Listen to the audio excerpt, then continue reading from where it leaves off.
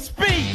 That's some motherfucking bullshit. You say the wrong thing, they lock your ass up quick. The FCC says profanity, no airplay. They can suck my dick while I take a shit all day. Meneer Hiddema, ehm, heel veel eh, posters over eh, ja, Forum voor Democratie eh, ja, zijn fascisten. Oh, dat is oud nieuws, hè? Kunt u kort uitleggen wat fascisme is? Wat de definitie van fascisme is? Ik denk dat je daar, met, als je je ogen de kost geeft, dan zie je daar een pure vorm van antifascisme, fascisme. Ze hebben ook dezelfde kleding.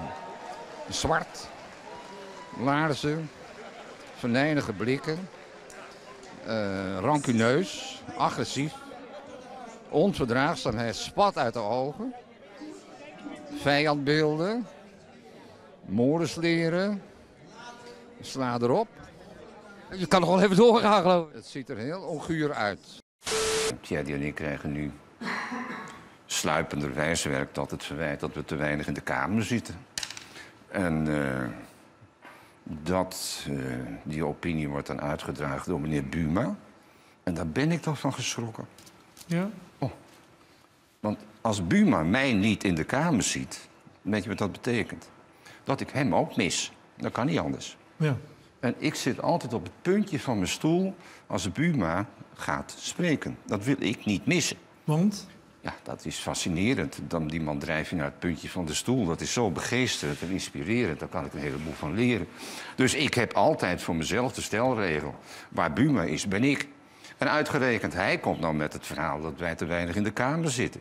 Nou, dat is alarmerend, want dan let ik niet goed op. Want ik wil hem niet missen, maar ik heb hem wel gemist. Dus ik heb nou een oekase in de fractiekamer. Volgen wij alle tafereelen eh, op de televisie, noem ik het maar. Zo'n eh, zo- binnenskamers. En dan kun je iedere plenaire vergadering aanschouwen in de plenaire zaal. Dus du moment dat ik daar zit en Buma spreekt, gaat er bij mij een bel in de telefoon. Dan, dan sprint ik naar de kamer, want die man wil ik absoluut niet missen. Ik heb een natuurlijke hebbelijkheid en die is gebaseerd op een zekere mate van intelligentie en menselijkheid. En dan weet je van tevoren dat je ten aanzien van dit geestelijk lompenproliaat distantie moet betrachten. Eh, Dus ja, laat ze maar schreeuwen, daar komt het dan op neer. Iets anders kunnen ze ook niet. Voorzitter, ehm, vanochtend ehm, hebben we allemaal kunnen lezen dat een parlementariër eh, hier uit ons midden van Forum voor Democratie in een interview zei dat andere volkeren een lager IQ hebben eh, dan anderen. Voorzitter, ik vind deze uitspraken verwerpelijk. Ik vind ze on-Nederlands en wat mij betreft hebben ze alle kenmerken van racisme. En laat ik heel helder zijn. Als dit soort dingen worden gezegd, zeker door een collega hier in het parlement, dan vind ik dat die woorden met kracht bestreden moeten worden. Hier op deze plaats in de plenaire zaal. En daarom wil ik graag een debat in de aanwezigheid van de minister-president. De heer Hiedema, namens, namens Forum voor Democratie. Punt voor het debat. Ik ga ervan uit dat een debat ertoe kan leiden dat er groot onderling begrip ontstaat in deze Kamer. En ik wil de heer Klaver zijn moment van morele zelfverheffing ook niet ontnemen. Steun het debat. De heer Klaver. Geen meerderheid. Wij volgen nu de fractie, de, de formatiedebatten. En, eh, we zitten wel op een andere planeet, maar ik wil niet zeggen dat de, de bewoners van de Tweede Kamer eh, buitenaards eh, eruit zien. Nee. Bepaald niet. Maar als je de, de debatten volgt, nu de, de, de formatiedebatten, dan zie je dus de fractievoorzitters. En die sla je gade. En hun taal is ondoorgrondelijk, buitenaards. Eh, je ziet wel, je slaat ze gade. Zij doen verslag van de avonturen die ze hebben beleefd met de informatrice. En daar doen ze dan verslag van. en dan denk ik, nou krijg ik te horen wat er daar gezegd is. En ik kijk ze aandachtig aan. En dan zie je dat ze spreken, want hun, ja, er is vibratie rond de mondhoeken. Eh, je ziet ook dat ze klanken teweeg brengen zodra de mond zich opent. Je ziet ook dat ze in zinsconstructies opbouwen, want de intonatie van de woorden die, ja, dat duidt een zin. Maar inhoudelijk zeggen ze helemaal niets.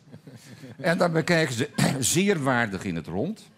Eh, ze bedanken de informatrice voor haar belangwekkend werk. Joost mag weten wat dat ooit heeft voorgesteld. ze zeggen dat ze nog steeds niet met Pietje willen regeren. En dat ze volgens hun eigen beginselen, want die ventileren ze wel. Dat geeft de gelegenheid mooi even. Wellicht een coalitie zouden willen met Jantje. Mits Jantje dan met Keesje samen en zo gaat het maar door. Maar wat ze daar inhoudelijk nou bekokstoofd hebben tijdens die formatie, tijdens die 70 dagen, daar wordt niemand een cent wijzer van. Stevast, stevast is het zwart dat klaagt en is het wit dat in de beklaagde bank zit. Daarmee creëer je geen verbinding. Dit artikel bevestigt zo het beeld dat zwart bescherming geniet, steun nodig heeft, omzichtig bejegend moet worden en een kwetsbare mensensoort cipeert. Het discours is gekmakend, lijkt mij, voor de trotse zwarte man of vrouw die dit moet aanzien. En die de types moet aanzien die zich opwerpen als zijn of haar beschermen. Dat hij steun nodig heeft. Dat hij de gang naar de rechter nodig heeft. Dat hij aangifte moet doen. En dat hij niks moet pikken als er bepaalde hem worden geuit. De echte trotse vierenneger, mag ik hem zo noemen, die zou toch in opstand komen als hij wel voldaan voor de spiegel staat, zin heeft in een nieuwe dag, de radio aanzet en weer van die types hem hoort beschermen. Daar zit hij niet op te wachten. En dit artikel staat een goede emancipatie van de trotse, sterke negen, noem hem dan maar zo, die het beu is, al die hulpverlening om hem heen, in de weg. Daar, De heer Gro Voorzitter, Groothuizen. ik maak bezwaar tegen, tegen dit soort woorden. Ik vind echt dat de heer Hedema zich vergalopeert als hij op deze manier over mensen spreekt. Ik verzoek u dat om te beletten. Ik spreek over een hele trotse meneer die, die, die, die een kwalificatie geeft waar totaal niks disqualificerend mee gemoeid kan zijn. Wat is dat voor onzin? Totaal niet. Nou. Dat is het nou weer. Alsof door uw optreden zich iemand beschermd moet weten tegen mijn disqualificerende opmerking. Zo iemand moet er helemaal niet zijn.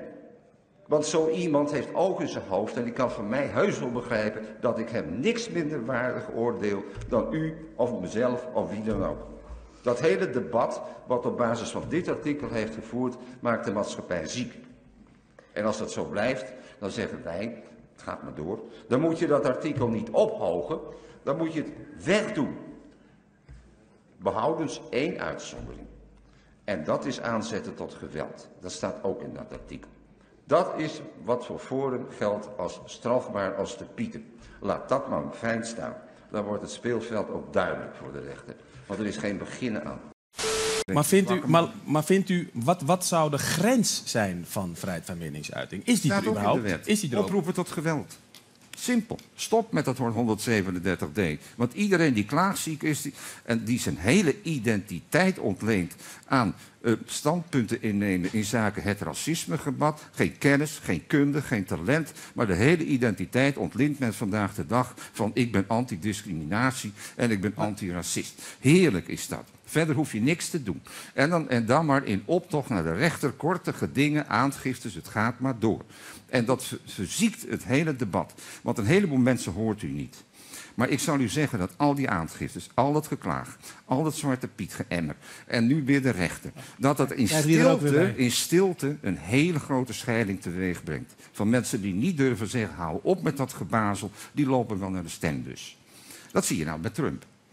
Dat 137-artikel is zinloos. Dat is gewoon een zelfbevredigingsartikel voor klaagziek volk die je nooit tevreden kunt stellen. En je stelt er niemand tevreden mee.